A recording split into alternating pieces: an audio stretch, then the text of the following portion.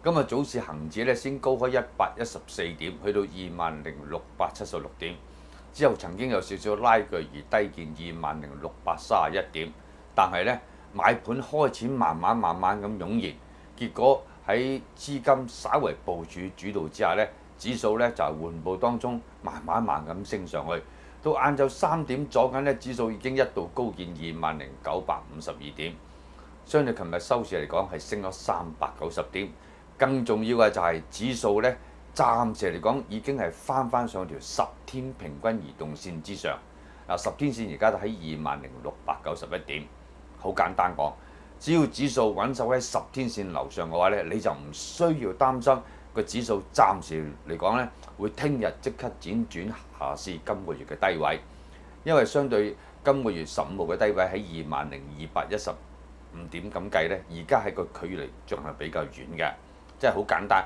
只要指數喺十天線樓上或者咬住條十天線嘅話咧，你就唔需要擔心佢會再創今個月嘅新低。咁啊，當然知啦，成交金額暫時嚟講都仲係比較保守，即係話個市回穩之餘咧。暫時欠缺一股上衝嘅動力。咁好啦，七月份有冇啊更加低嘅指數，或者要反彈到幾多先嚟啊？到月底呢？而家呢分鐘梗係唔知啦。但係最低限度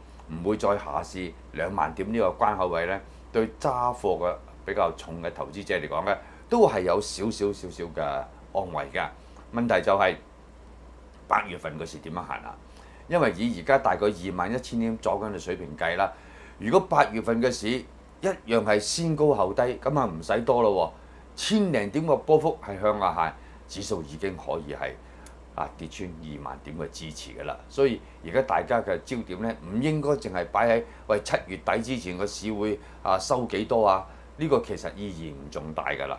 你反為咧揸貨重嘅朋友咧，應該考慮一下，萬一八月份個市係進一步下行嘅時間。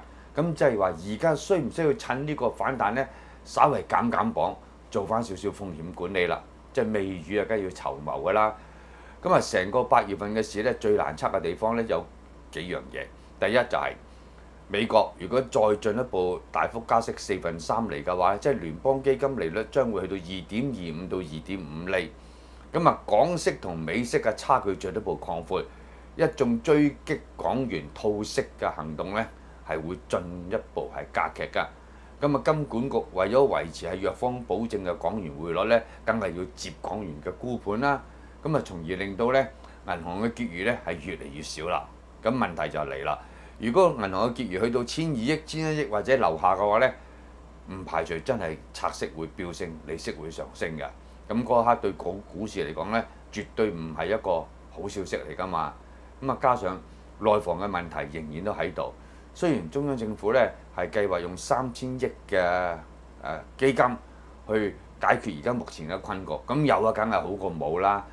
但係唔係代表相關問題已經係完全解決晒㗎嘛？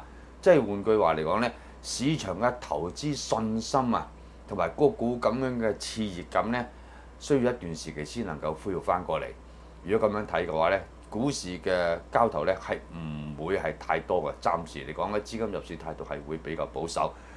你淨係睇個市嘅走勢已經知道啦。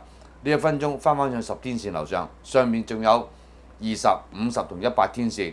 就算你過埋呢度都話咧，成交金額都仲係唔足夠。即係話個市上升之餘或者反彈之餘咧，係冇動力去支持㗎。典型係一個技術上嘅後抽嘅啫。大家都係保守少少好啲。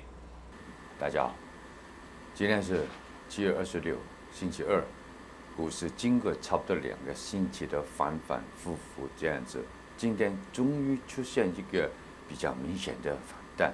我們先看看那個指數，早段恒生指数先高开一百一十四点到两万零六百七十六点，曾经有一点点的反复而低见两万零六百三十一点，可是没有再进一步往下走。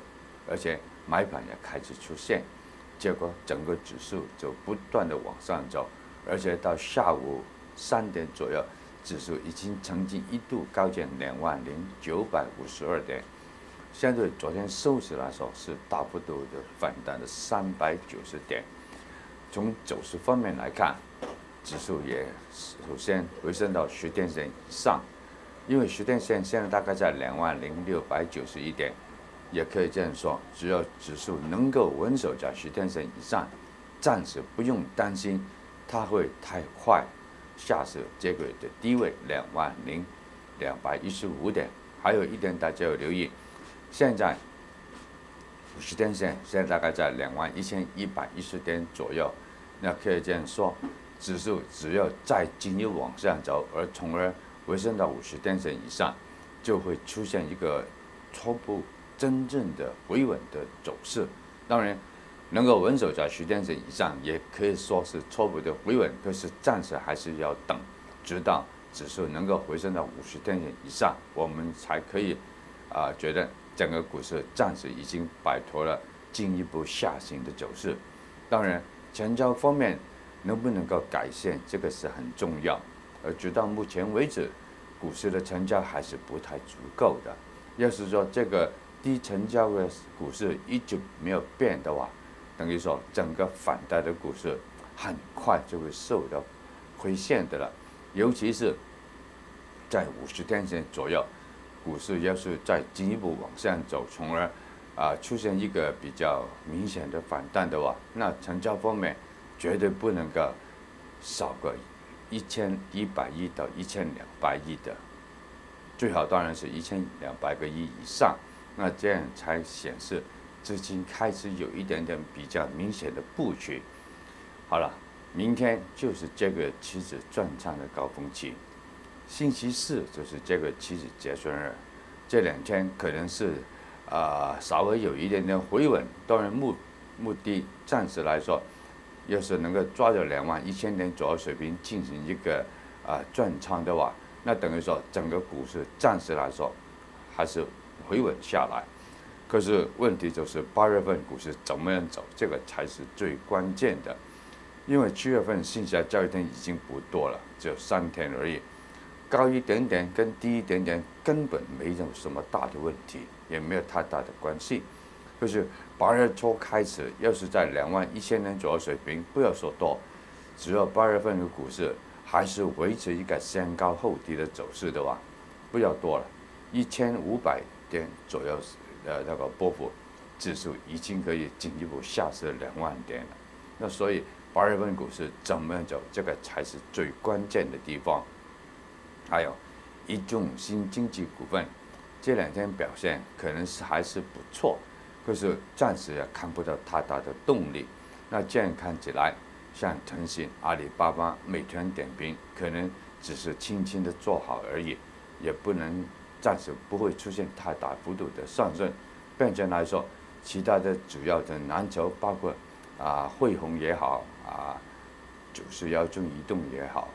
幺二九九的友邦也好，我也不觉得它会怎么样大幅度上去，最低限度暂时没有这个看法，所以等于说八月份就算是股市稍微做好一点点，也只是很小很小的幅度，暂时也看不到太大的幅度上升的，所以变成来说，资金入市的态度还是大家比较保守一点点，轻轻的买一点点没问题，就是重手去买的，我觉得暂时还是不是时候。好啦，下午分析就说到这里。大家記得俾 like、留言、訂閱、撳埋鐘仔，仲埋喎分享埋俾啲朋友，多謝。